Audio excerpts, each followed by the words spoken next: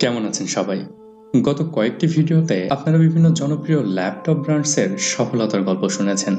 যদি ভিডিওগুলো না দেখে থাকেন, তবে ভিডিওর ডেসক্রিপশন বা আই বাটনে ক্লিক করে ভিডিওগুলো দেখে নিতে পারেন। কারণ আজকের এই ভিডিওটি ল্যাপটপ ব্র্যান্ড সিরিজের শেষ ভিডিও। তো চলুন শুরু করা যাক মাইক্রোসফটের সফলতার গল্প। মাইক্রোসফটের নাম শুনে শুরুতেই হয়তো এটা মনে হতে পারে যে এই ব্র্যান্ডের ল্যাপটপ তো কেউই ব্যবহার করেনি। যদিও সম্প্রতি মাইক্রোসফট তাদের তৈরি মাইক্রোসফট সার্ফেস সিরিজের ল্যাপটপ বাজারে নিয়ে এসেছে। তবু এইচপি আসুস বা ডেল এর মতো তা এত জনপ্রিয় নয়। এবং সত্যি বলতে মাইক্রোসফট কোনো ল্যাপটপ ব্র্যান্ডও নয়। তাহলে এই সিরিজের ভিডিওর মধ্যে কেন মাইক্রোসফটকে নিয়ে কথা বলছি? আসলে ল্যাপটপের প্লাস্টিক বডির ভেতর যদি কোনো আত্মা থেকে থাকে তবে সেটি হলো মাইক্রোসফট ল্যাপটপ আপনি যেটি ইচ্ছা ব্যবহার করতে পারেন। HP Asus Toshiba Sony Dell বা যে কোনোটি কিন্তু এই সবগুলো ল্যাপটপের ভেতরে রয়েছে একটি বিশেষ সাদৃশ্য, আর সেটি হলো এগুলো অপারেট হচ্ছে উইন্ডোজ অপারেটিং সিস্টেমে অর্থাৎ ল্যাপটপ যাই হোক না কেন, ভেতরে আছে উইন্ডোজ টেন এইট বা যা আপনার পছন্দ। আর এই উইন্ডোজ ছাড়া আপনার ল্যাপটপ যেন ঠিক মৃত লাশের মতো। এবং এই উইন্ডোজ তৈরিকারী প্রতিষ্ঠানই হচ্ছে মাইক্রোসফট তাই ল্যাপটপ নিয়ে কথা বলতে গেলে যদি মাইক্রোসফটের নাম না নেওয়া হয়, তবে তার টেক জগতের প্রতি খুবই অন্যায় হবে।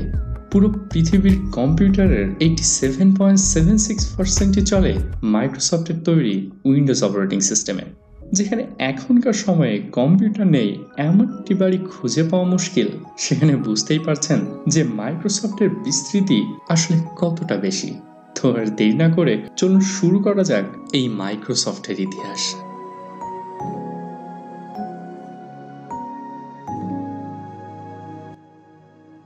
নতুন করে হয়তো বলার প্রয়োজন নেই যে মাইক্রোসফটের প্রতিষ্ঠাতা হলেন মিস্টার বিল গেটস।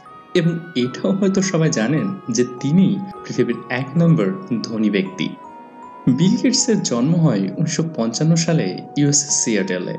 ষাটের দশকে যখন তিনি হাই স্কুলে ভর্তি হন, তখন পুরনো কম্পিউটার ছেড়ে ধীরে ধীরে বাজারে মাইক্রো কম্পিউটারের উদ্ভব হয়।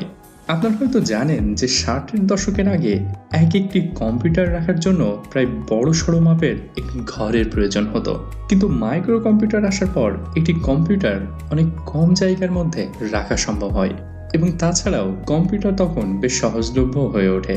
অর্থাৎ সাধারণ মানুষও তখন এটিকে কিনতে পারত, যা এর পূর্বে সম্ভব ছিল না। ওই সময়ের বেশ জনপ্রিয় একটি মাইক্রো কম্পিউটার ছিল পিডিপি এইট। বিল গেটস এবং তার সহপাঠী পল অ্যালান এই কম্পিউটারের বিভিন্ন ত্রুটি বা বাগ খুঁজতে সক্ষম হন। এটি দেখে PDP eight manufacturer Bill Gates এবং পল অ্যালানকে তাদের কম্পিউটারের বাগ খোঁজার জন্য কাজে নিয়োজিত করেন এবং এখান থেকেই প্রোগ্রামিং এর উপর বিল গেটসের দক্ষতা বাড়তে থাকে। বিল গেটস প্রোগ্রামিংয়ে এতটাই ভালো ছিলেন যে স্কুলের ক্লাস রুটিন তৈরির প্রোগ্রামও তাকে দিয়েই করানো হয়। বিল গেটস ছিলেন অত্যন্ত মেধাবী এবং তার আইকিউ ছিল প্রায় অন সিক্সটি প্লাস। উনিশশো চুয়াত্তর সালে তিনি হার্ভার্ডে ভর্তি হন এবং এ সময়ে বাজারে নতুন একটি মাইক্রো কম্পিউটার আসে যার নাম Altair eight eight o. Paul Allen এবং বিল গেটস বুঝতে পেরেছিলেন যে কিছু ছোট ছোট প্রোগ্রামিং এর মাধ্যমে এই কম্পিউটারটিকে আরও অনেক কাজে ব্যবহার করা যেতে পারে।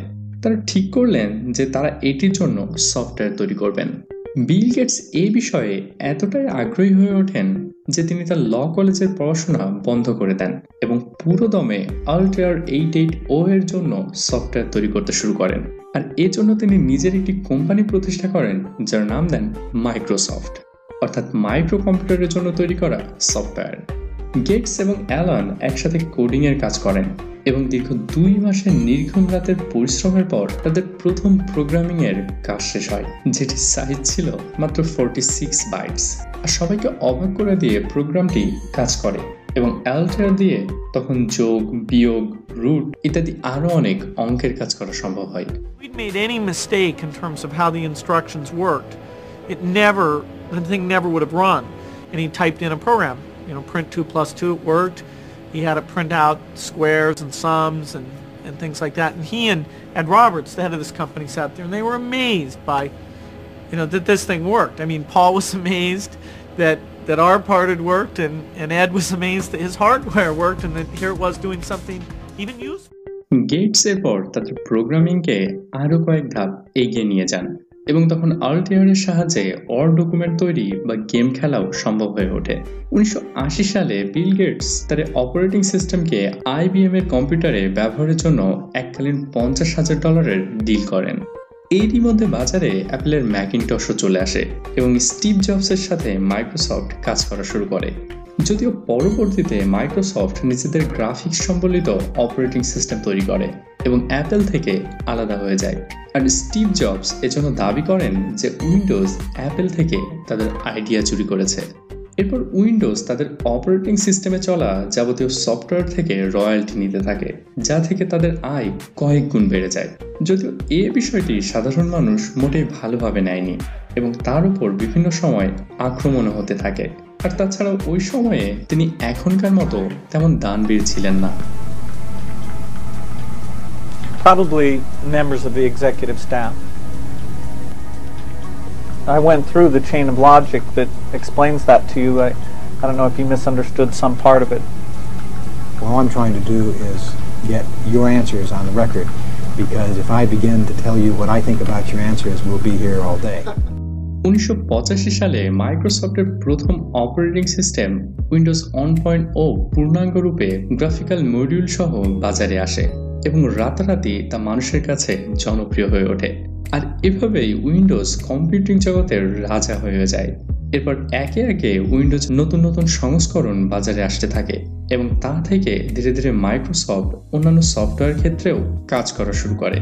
মাইক্রোসফটের দখলে রয়েছে Skype GitHub LinkedIn Bing Nokia এবং এক্সবক্সের মতো নামি দামি প্রতিষ্ঠান।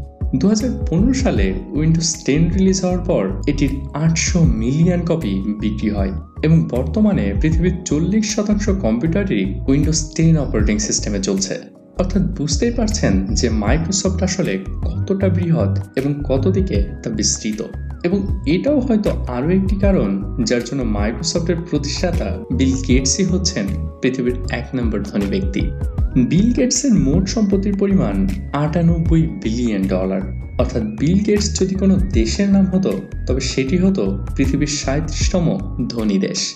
শুধুমাত্র দু হাজার আঠারো সালেই তার কোম্পানি একশো চার বিলিয়ন ডলার আয় করে। এ পরিমাণ অর্থ এতটাই বেশি যে এটি দিয়ে সমস্ত পৃথিবীর প্রত্যেকটি মানুষকে চোদ্দ ডলার করে দিয়ে দেওয়া যাবে। কাজে ল্যাপটপ আপনি যেটি কিনুন না কেন, মনে রাখবেন যে এদের গডফাদার কিন্তু একজনই। আর সেটি হলো মাইক্রোসফট তো যাই হোক এরই সাথে শেষ হলো আমাদের ল্যাপটপ ব্রান্ড সিরিজের ভিডিও। পরবর্তীতে আমরা জনপ্রিয় আরও বিভিন্ন ব্রান্ডস নিয়ে ভিডিও তৈরি করব। তো এই ভিডিওটি যদি ভালো লেগে থাকে, তবে শেয়ার করতে পারেন অন্যান্যদের সাথেও। এবং চ্যানেলটি সাবস্ক্রাইব করে রাখুন ভবিষ্যতে এমন আরও অনেক ভিডিও পেতে। ভালো থাকুন সবাই, সুস্থ থাকুন সবাই। ধন্যবাদ।